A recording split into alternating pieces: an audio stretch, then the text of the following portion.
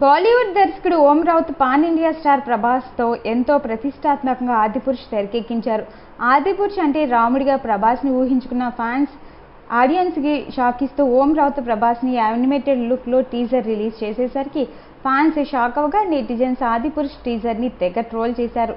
ప్రభాస్ని animated రాముడిగా చూసేసరికి ఫ్యాన్స్కి మైండ్ బ్లాంక్ అయింది. ఈ దెబ్బకి ఆదిపురుష్ మేకర్ సినిమా రిలీజ్ని వాయిదా వేసి బెస్ట్ విఎఫ్ఎక్స్ అంటూ సినిమాని జూన్కి షిఫ్ట్ చేశారు.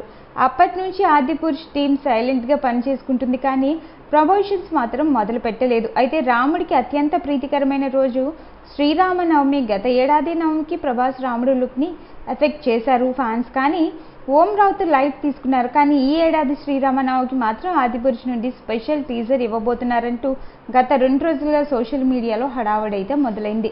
మరి ఏప్రిల్లో రాబోయే శ్రీరామనవమికి నిజంగా ఆదిపురుషు నుండి టీజర్ వస్తే ఫ్యాన్స్కి పండగే. అది ఫ్యాన్స్ని మెప్పించాలని వారు ఆశపడుతున్నారు. జూన్ విడుదల కాబోయే ఆదిపురుషు ప్రమోషన్స్ ఏప్రిల్ శ్రీరామనవమికి మొదలుపెట్టి జూన్ కల్లా జనాల్లోకి తీసుకెళ్ళే ప్లాన్లో మేకర్స్ ఉన్నట్టుగా తెలుస్తోంది. ఈ వీడియో మీకు నచ్చినట్లయితే లైక్ చేయండి. మీ అభిప్రాయాన్ని కామెంట్ చేయండి. For more latest movie updates please subscribe Telugu stars